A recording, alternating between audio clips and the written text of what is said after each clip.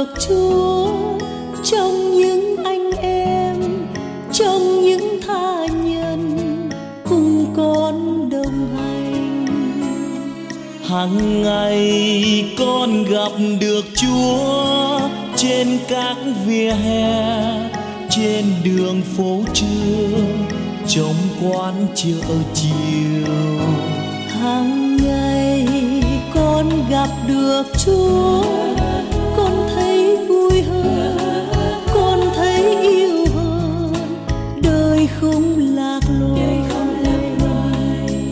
ngày con tìm gặp chúa, chia sớt ngọt bùi san sẻ áo cơm, sưởi ấm lòng người. Lời ngài con vẫn nhớ luôn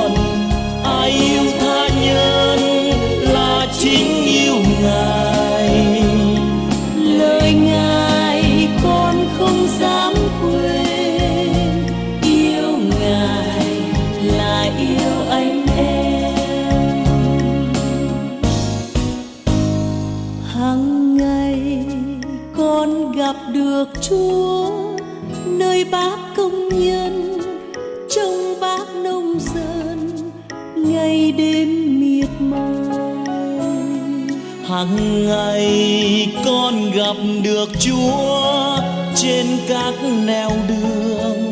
Ông bà mến thương em bé đến trường. Hàng ngày con gặp được chúa khi đám tang qua em bé sinh ra. Niềm vui tràn ngập. Hàng ngày xóm nhà nghèo.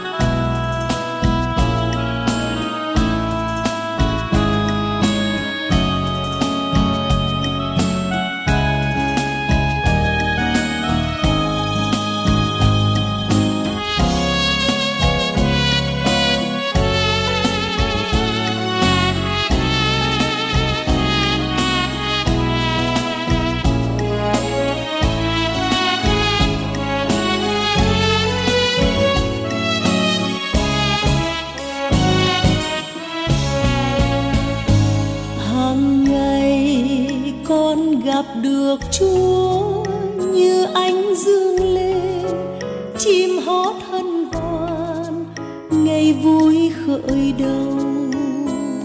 Hàng ngày con gặp được chúa khi đến nhà thờ chuông chiều thiết tha như tiếng gọi mời. Hàng ngày con gặp được chúa khi ánh trăng xa, đưa lối con đi màn đêm phủ đầy. Hàng ngày con gặp được chúa.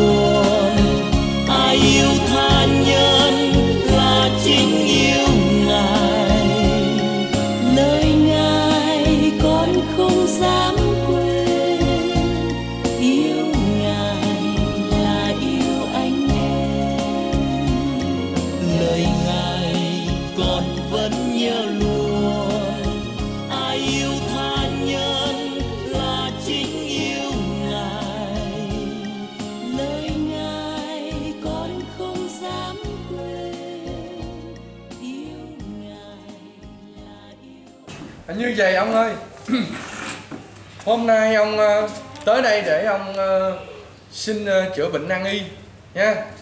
Thì ông đạo của ông là đạo tam kỳ phổ độ là gọi là đạo cao đài ha. À, tụi con là đạo công giáo. Nhưng tụi con không có phân biệt ông là đạo gì cả nha. Nghe nói ông có đạo là tụi con mừng rồi nha không ha. Vì thế ông là đạo gì tụi con cũng mừng hết.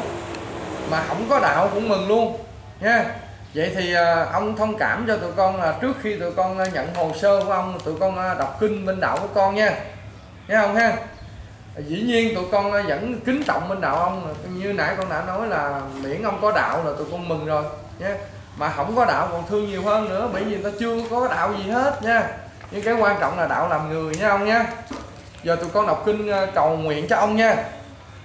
Nhân danh cha và con và thánh thần, amen là cha chúng con ở trên trời chúng con nguyện danh cha cả sáng đến cha thì đến với cha thể hiện dưới đất cũng như trên trời. Xin cha cho chúng con hôm nay lương thực hàng ngày và tha nợ chúng con. Chúng con cũng tha kẻ có nợ chúng con. Xin cho để chúng con xa chứa cam dỗ nhưng cứu chúng con ra khỏi sự là Chúa Giêsu là đứng vào lòng thương xót. Hôm nay chúng con ờ, tiếp nhận một bệnh nhân mới nữa đó là ông Nguyễn Tấn Tài. Ông là người à, đạo cao đài. Ờ, Ờ, trước mặt Chúa thì ờ, tất cả chúng con là con cái của Chúa. Ờ, chúng con cầu xin Chúa chữa lành cho ông Nguyễn Tấn Tài. Bởi vì ông mang căn bệnh hiểm nghèo đó là bệnh ung thư phổi ở giai đoạn cuối. Chúng con là những người ở dưới thế này rất là mỏng giòn yếu đuối, cũng như là không có một cái Ờ, cái quyền lực nào hay là khả năng nào để mà cứu chữa ông? Thế nhưng chúng con tin tưởng rằng chúng con ờ, cầu trông cậy vào vào Chúa là đứng vào lòng thương xót để ờ, chúc phúc lành cho ông bệnh nhân này là ông Nguyễn Thánh Tài. Xin Chúa vào lòng thương xót chữa lành cho ông. Và mai này ông được bình phục, ông sẽ trở về quê hương của ông là ở bên Đồng Tháp. Ông sẽ thờ đấng mà ông đang tôn thờ đó là đạo cao đài xin Chúa ban phúc lành cho tất cả mọi người chúng con đang có mặt ở đây cũng như là xin Chúa ban phúc lành cho tất cả uh, uh, con cái của ông Nguyễn Tấn Tài trong gia đình. Mạnh mạnh giỏi để mà giúp ông vượt qua cái cơn hiểm nghèo này. Cầu xin uh, tất cả cộng đồng mạng ai đã nghe được cái clip này hãy uh, cùng với cha để uh, cầu nguyện cho người bệnh nhân này. Đó là cái uh, lời kêu gọi của cha đối với cộng đồng mạng. Ờ, xin tất cả mọi người hãy cầu nguyện cho ông. Chúng con cầu xin nhờ Đức Kitô Chúa chúng con. Chúng con cậy vì danh Chúa nhân từ cho các bạn linh hồn. chỗ nguyện và xem thấy mặt Đức Chúa Trời sáng đáng như vậy vô cùng. nhân danh cha và con và thánh thần. Con ờ, con chào ông nha. À, chào mọi người trong nhà trong gia đình của ông nha. à, hôm nay thì ông ờ, đến đây để trị cái căn bệnh hiểm nghèo. Cho ông đó là căn bệnh ờ, ung thư phổi. Hạ hạ dùm đó là bệnh ung thư phổi. Thì ờ, bây giờ ông thì ông đang cấp cứu ở đây. Thì chắc có lẽ ông phải nằm lại đến khi nào mình không biết nằm bao lâu đến khi nào ông khỏe thì ông sẽ ra nhà trọ nha đó là cái chuyện bệnh của ông còn à, riêng về làm giấy thì bây giờ ông ờ, không, ông ờ, nằm để ông chứng kiến thôi, nhưng mà người thân sẽ ký thay cho ông, nhé. Bây giờ làm giấy thì ờ, có ba chuyện sau đây mình làm ngắn gọn thôi. Thứ nhất là ông có giấy chứng minh nhân dân nha thứ hai là ông có hồ sơ bệnh án của bệnh viện sở y tế thành phố Hồ Chí Minh, bệnh viện Phạm Ngọc Thạch đã xác nhận cho ông là bệnh ung thư phổi giai đoạn cuối tức là giai đoạn không còn thuốc để chữa thì à, ông đã đến đây à, cha nói ngắn gọn với à, người thân của ông rằng là đối với cái bệnh của ông thì tất cả các bác sĩ đều phải bó tay. Vì nếu họ chữa được thì họ đã chữa rồi không cần phải tới đây nha vậy thì à, khi tới đây thì à, cha chữa theo kiểu khoa học nhưng mà là thuốc nam chứ không phải là thuốc tây. Nha, chữa theo cái đường hướng khoa học là diện chẩn điều khiển liệu pháp, nhưng chữa bằng thuốc nam. Mà thuốc nam này được gọi là thuốc núi, chứ không phải là thuốc nam, thuốc độc vật thuốc này cây thuốc nam nhưng mà nó sống ở miền núi. Nha, nó sống ở trên miền núi. Cha tìm từ ở trên núi à, ở miền núi phía bắc cha tìm nó về đây, cha trồng lên để ờ, cha mong rằng cha giúp được người nào thì giúp nên người đó. Phước chủ mai thầy nha thì ờ, cái điều mà cha làm đó là hôm nay được ứng nghiệm đến năm, tức là cha đi tìm cái cây thuốc núi đem về cha trồng thì hôm nay ông là người có phước được hưởng cây thuốc này nha vậy thì ờ, cái điều đầu tiên chúng ta phải xác nhận là ông là người có phước được hưởng cây thuốc này cái đã. Còn cái chuyện hết hay không thì chúng ta còn phải chờ thời gian. Rồi chúng ta phải trông cậy vào vào Chúa vào Phật hay là vào à, đạo của ông là đại đạo tam kỳ phổ độ ha? Cũ thập tam niên ha? Vậy thì à, ở bên cha là người công giáo thì cha cầu xin Chúa. Còn bên chị bên ông là đạo cao đài thì cầu xin à, cầu xin ai? Đức Chí Tôn tóm lại chắc cũng Chúa trời thôi chứ có ai. Đạo cầu đài cũng có là chúa nữa. À, thôi thì điều cha muốn nói là gì? Điều cha muốn nói với mọi ờ, bệnh nhân và những người thân của bệnh nhân là đứng trước cái căn bệnh này thì không ai tài giỏi nhất gọi là phước chủ mang thầy. Nhưng chúng ta là người ở dưới thế chúng ta phải biết cầu xin. Chúng ta thờ ai thì chúng ta cầu xin người đó chúng ta thờ như cha thờ chúa cha cầu xin chúa. Còn chị thờ một mắt ca đài thì chị thờ cầu xin đức chí tôn. Còn người đạo phật thì cầu xin đức phật. Nhưng về phía con người thì chúng ta bó tay. Nhưng về phía niềm tin thì chúng ta có quyền cầu xin. Ở đây cha cầu xin là chuyện một chuyện nhưng cha điều trị theo phương pháp của diện chẳng điều trị liệu pháp và một chuyện khác nữa nha. Thì uh, nói như là giáo hữu thượng thảo thanh phải không? Thượng thảo thanh. Thì uh, ngài đã viết cho cha một cái uh, cái giấy giới thiệu để cha đọc cho mọi người nghe nha. Đại đạo tam kỳ phổ độ cửu thập tam niên tòa thánh tây ninh. Giấy giới thiệu. Tôi giáo hữu thượng thảo thanh cai quản họ đạo tân long huyện thanh bình tỉnh đồng tháp. Xin trân trọng giới thiệu đến ông cha phêrô nguyễn văn tường ấp dòng lớn xã vĩnh kim huyện cầu ngang tỉnh trà vinh. Nguyên họ đạo chúng tôi hiện có vị đạo hữu tên nguyễn tấn tài 54 tuổi. Thọ bệnh ung thư phổi, đã chạy chữa thuốc thang rất nhiều mà bệnh không thuyên giảm. Nghe ông cha có tay phục dược, cứu nhân độ thế. Cái này là cha ông khen cha đó. Nên kính nhờ ông cha tận tình giúp đỡ mai ra do phước chủ, mai thầy cho vị đạo hữu nguyễn tấn tài thoát khỏi cơn bệnh hiểm nghèo để vui sống với gia đình vợ con. Chân thành biết ơn Tân Long ngày 25 tháng 4 năm Mậu Tuất năm 2018 thay mặt ban cai quản. Cai quản là giáo hữu Thượng Thảo Thanh. Ký tên Tấn Mộc, đây là cái ờ, cái ờ, gọi là cái giấy giới thiệu mà ờ, ông Nguyễn Tấn Tài là người trong hội này. Trong đạo cao đài này mà ông Thượng Thảo Thanh là đang cai quản. Vậy thì ông đã giới thiệu là ông này có nguồn gốc có nguồn gốc là bên đạo cao đài. Nha. Vậy thì ông đã đủ hồ sơ hồ sơ bệnh án của ông đã đủ rồi. Thì uh, cha đón nhận cái căn bệnh này. Nhưng uh, cha cũng lặp lại cái lời cha nói đó là ở dưới đất này đứng trước căn bệnh hiểm nghèo nan y thì ai cũng phải bó tay đứng nhìn. Nha. Nhưng ở đây chúng ta có quyền cầu xin, cầu nguyện nguyện ngắm. Và chúng ta cũng có quyền tìm hết cách để chữa trị. Thì ở đây, cha có cái cách chữa trị đó là ban diện chẩn, điều khiển liệu pháp. Chẳng là gì? Tức là người ta khám, người ta bắt mạch, người ta coi đủ thứ xong rồi người ta liệu pháp. Liệu pháp có nghĩa là gì?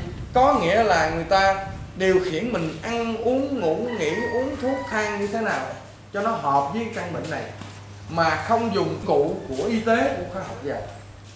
Thì à, như ông à, như ông đây là khoa học bệnh viện phạm ngọc thạch đã dùng hết các các phép rồi, các phép của khoa học đã dùng hết rồi, nhưng mà cuối cùng thì cũng không giải quyết được vấn đề.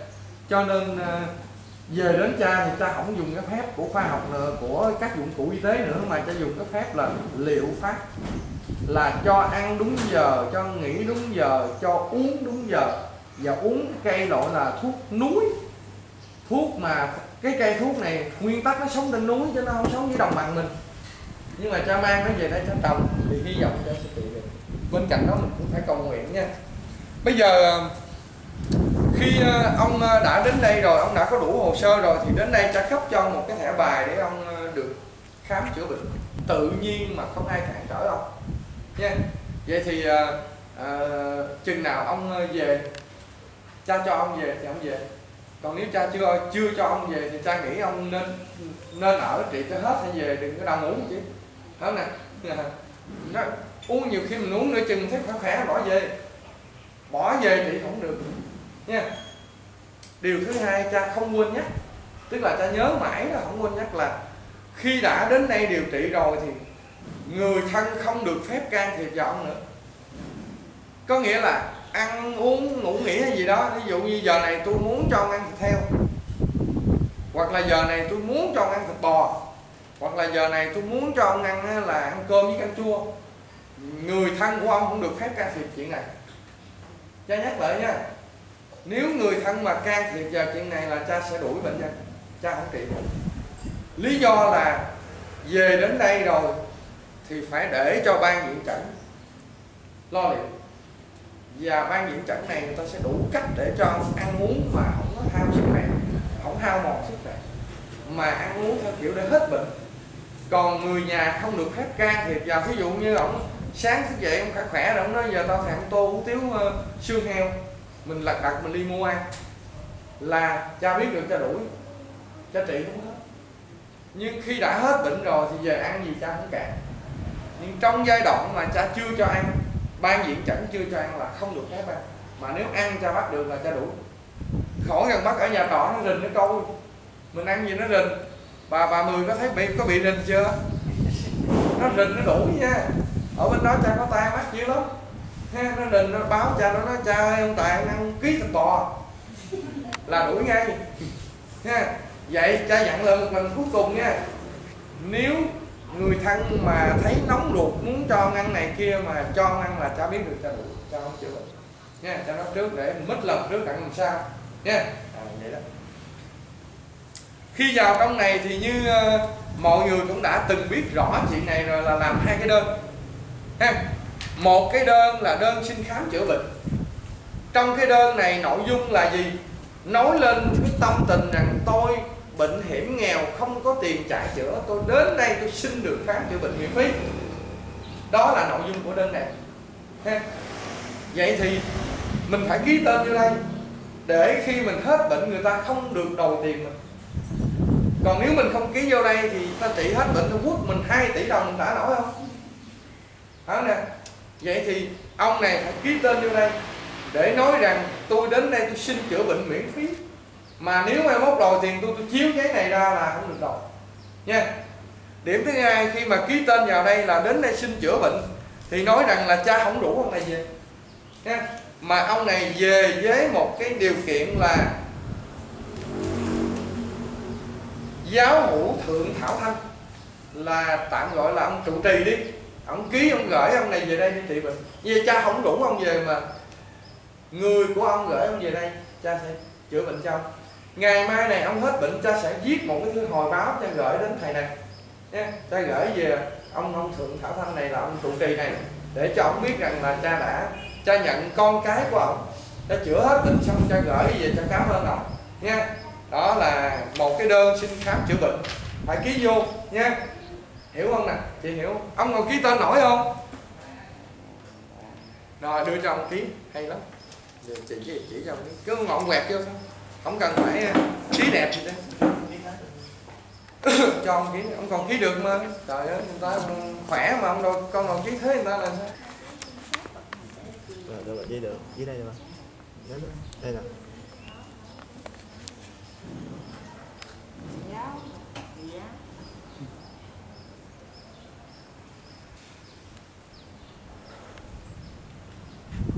con nộp với thai không? Có tội chết Rồi như họ tên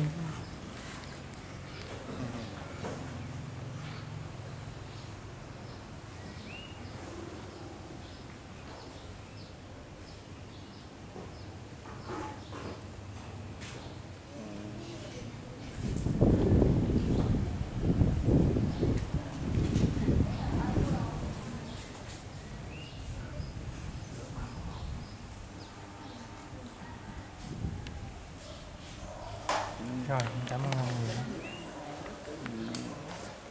các thầy dạy rồi. Đây là cái thư đây là cái đơn xin khám chữa bệnh miễn phí. Khi ông ký vào đây rồi là không ai có quyền đòi tiền ông ông ông được khám mà gọi là giống như là ông có sổ bảo hiểm vậy đó. Ha mỗi ngày là các y sĩ này có nhiệm vụ chữa bệnh ông cho đến lành thôi mà không được quyền đòi tiền ông nha. Ông thấy ông ngon lành không? Hả? Ông thấy ông vui không à vui quá ha. Một cái đơn thứ hai ông ơi. Ông nghe con nói, ông còn nghe rõ không? Cái đơn thứ hai là giấy cam kết khám bệnh.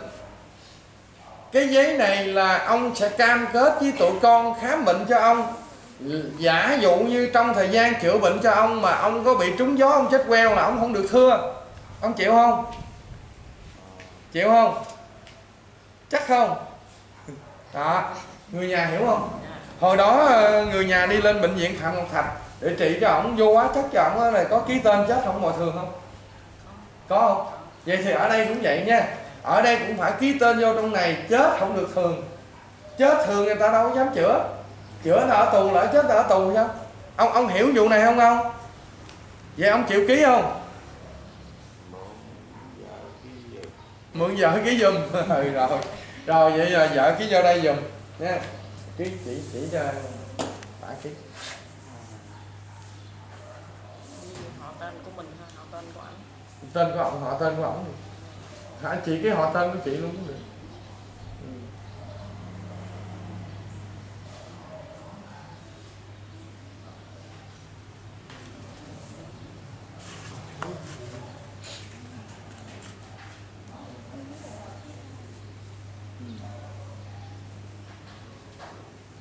Ừ.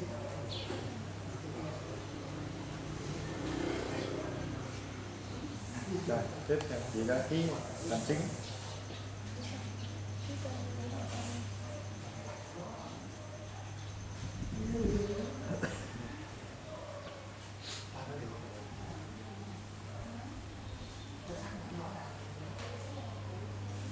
con ký làm chứng nữa con.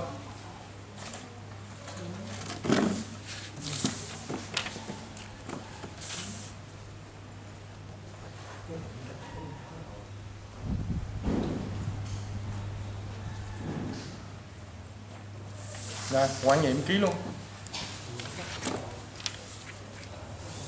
Nguyên tắc uh, chữa một căn bệnh nan y thì cha phải làm hồ sơ rõ ràng như vậy.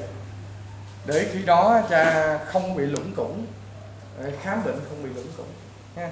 Tức là người nhà phải hứa hẹn là phải cho ông ăn uống ờ, theo phát đồ, thì khi đó không bị lũng củng. Còn nếu người nhà mà không không hứa hẹn cái này mà muốn cho ăn gì ăn là trị không nổi. Mà trị không nổi là lỡ có bị gì, người nhà đổ thừa, nha. Cho nên phải phải có cái ký tên như vậy mới chắc ăn được.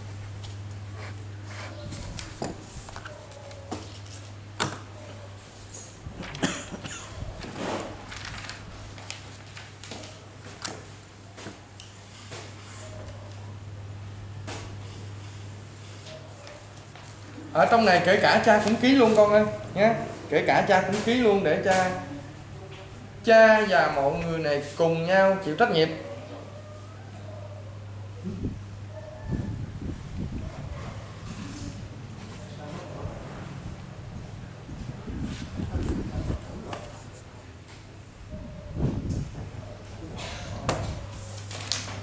Đây là cái hồ sơ cam kết giữa đương sự và tất cả những người xung quanh. Đồng tình ký hết, nha. Cùng nhau lên xuồng để chữa trị cho ông, nha. Cùng nhau lên xuồng để chữa trị cho ông. Từ nay trở đi là không ai có quyền đổ thừa ai hết. Nhưng cha nói với tụi con một ý nghĩa như thế này. Nếu tụi con đi lên xuồng mà có một người chèo, một người thọ cái chân xuống nước thì chiếc xuồng này chạy ngon không? Xuồng này chạy có thông không? Có xuôi chèo mát mái không? Không. Vậy, trong cái nhóm này cha và ban viện chẩn và ba người này với ông bệnh là năm, là bốn với ba, bốn, tám người. Tám người này mình cùng đồng lòng mình ký thì rõ ràng mình đưa ra một cái lý tưởng là chữa bệnh cho ông. Vậy thì gia đình của ông ký, chết không? Tôi không thưa tụi này. Tụi này quyết tâm làm tới cùng, không cho ông chết thì đó mới gọi là đi chữa bệnh. Còn nếu cha cũng không ký mà con cũng không ký nữa thì thôi, bệnh này mãi mãi không hết đâu. Cho dù thuốc tiên cũng không hết.